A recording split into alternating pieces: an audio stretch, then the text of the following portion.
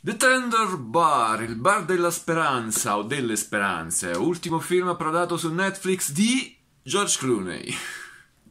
Torna il nostro George Clooney dopo il suo fantasmagorico di Midnight Sky. Chi se lo scorda quel film dell'anno scorso? Mamma mia, che ciofeca!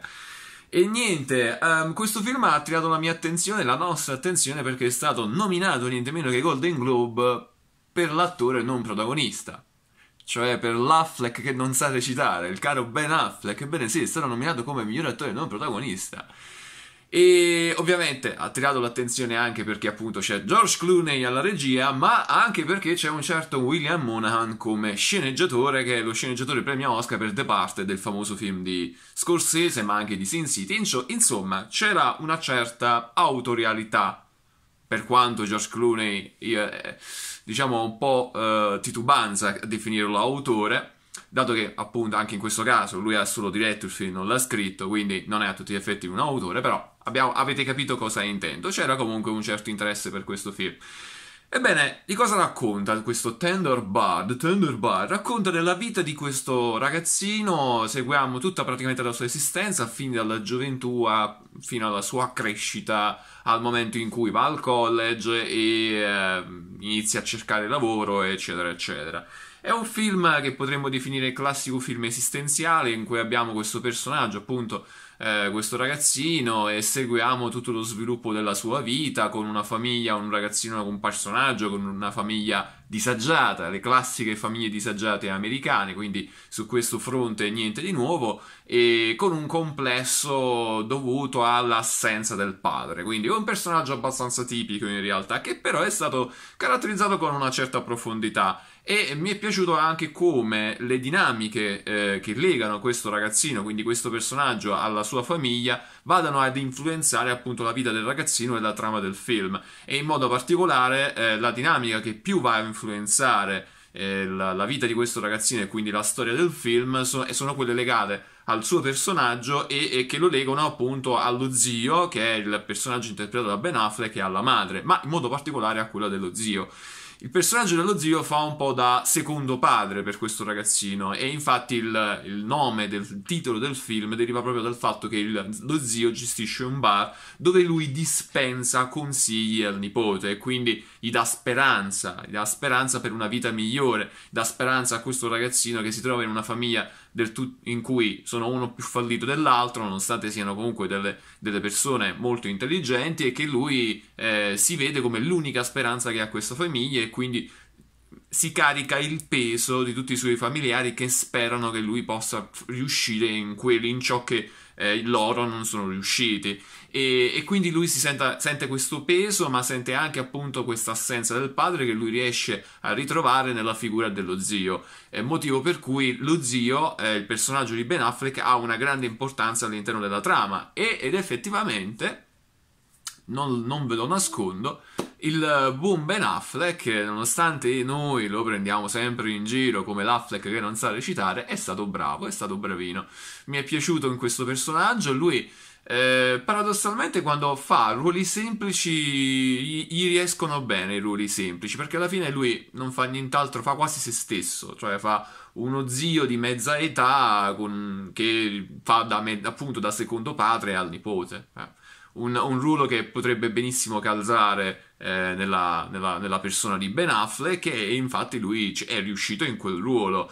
Non siamo di fronte, a mio parere, alla prestazione da Oscar, infatti è il personaggio più che altro che è scritto bene, ha una sua profondità che, a, che, è legata in modo particolare alla profondità del personaggio protagonista, quindi più che un suo background è la sua influenza sul protagonista, sul ragazzino che ha, una, che ha la sua efficacia. È per quello che il personaggio dello zio funziona, in funzione del protagonista, ma come, così come, come tutti gli altri personaggi. Tutti i, i personaggi secondari funzionano in funzione della loro dinamica con il personaggio del ragazzino.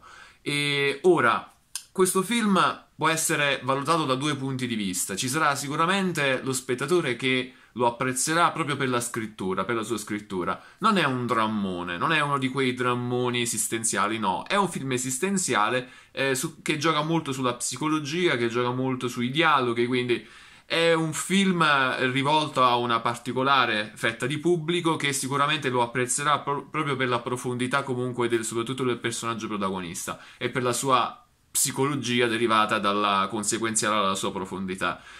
Ci sarà però una bella fetta di pubblico che non apprezzerà questo film, perché è comunque un film bello pesante in cui non avviene nulla di davvero concreto dal punto di vista materiale, quindi non vi aspettate grandi avvenimenti all'interno di questo, di questo film, è tutto molto ciò che avviene implicito, tutto appunto che risiede nella psicologia dei personaggi, in modo particolare del protagonista. Quindi è un film psicologico esistenziale eh, che per fortuna non è alla stessa stregua del, del penultimo film di, di, Clooney, cioè The Midnight Sky, ma ha un suo perché rispetto a quel The Midnight Sky che invece non l'aveva.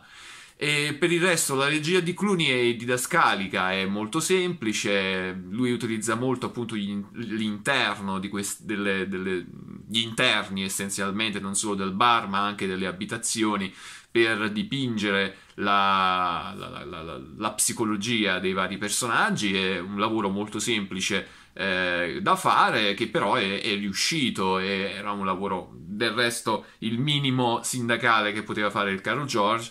E, ma niente di più. Ci, c'è qualche dettaglio all'interno del film che si lega sempre eh, che vuole essere quasi, vogliono essere quasi delle allegorie, delle, sempre legate alle dinamiche de, che uniscono i vari personaggi, ma non ci ho visto questa grande eh, prestazione registica, è una regia accettabile e abbastanza didascalica per un film del genere.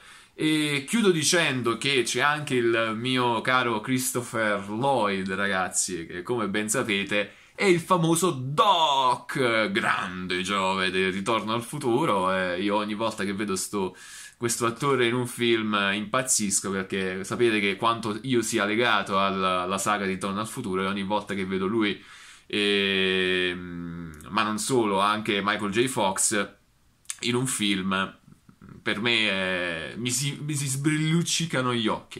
Va bene, chiudo dicendo che questo è un film da 7. Non posso andare oltre perché non mi ha trasmesso oltre ciò che il personaggio protagonista ci vuole trasmettere. E non è un film che mi ha tenuto incollato, però che mi ha comunque interessato fino alla fine. Poi è un film che non dura nemmeno tanto. Quindi, se vi piacciono i drammi, no, ma non manco i drammi. Se vi piacciono i film esistenziali e psicologici, ve lo consiglio, altrimenti potete anche lasciarlo perdere. E io ho finito, alla prossima, ciao.